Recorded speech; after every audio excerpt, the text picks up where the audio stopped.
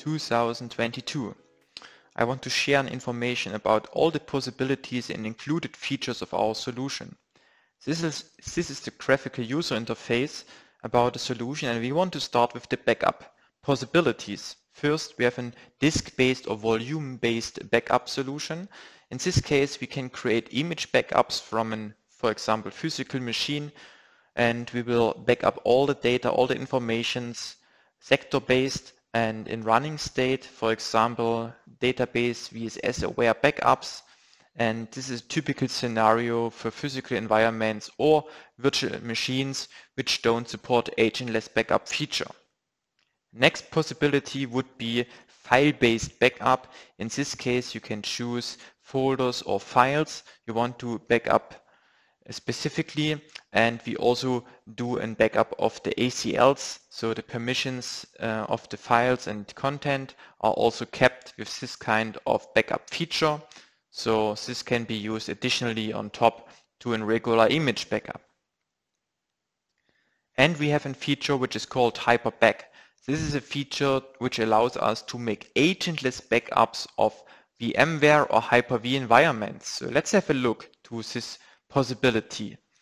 I have added at the beginning two hypervisor hosts already. I have one ESXi 7 host and I have one Hyper-V 2019 host.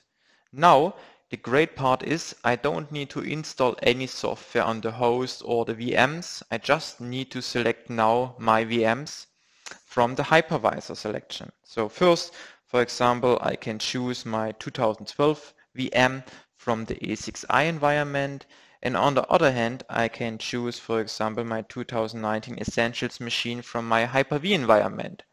And that's it. You don't need to do anything else. Just select and go next. Next important thing is the backup target. Regular targets like um, local disk, RDX devices, USB devices, but you also could use tape devices. LTO tape drives also supported as a backup destination. So if you have a tape or tape library, you can use your LTO drives and directly make a backup on it. No problem. Additionally, you could use a regular network share from a NAS device, for example, as a backup target, but you can also use Microsoft Azure or Amazon S3 or, or S3 compatible storage provider. So if you have a cloud provider with S3 protocol, you can also use this kind of cloud provider directly as a backup target. Or you have a cloud provider using SFTP protocol, go for it and use it directly. Or you host your own server and share your SFTP account, then no problem. You can also directly make the backups to this uh, cloud destination. So no local backup is required. You can directly make backups into the cloud and of course you can also do the recovery directly from the cloud to a local machine for example.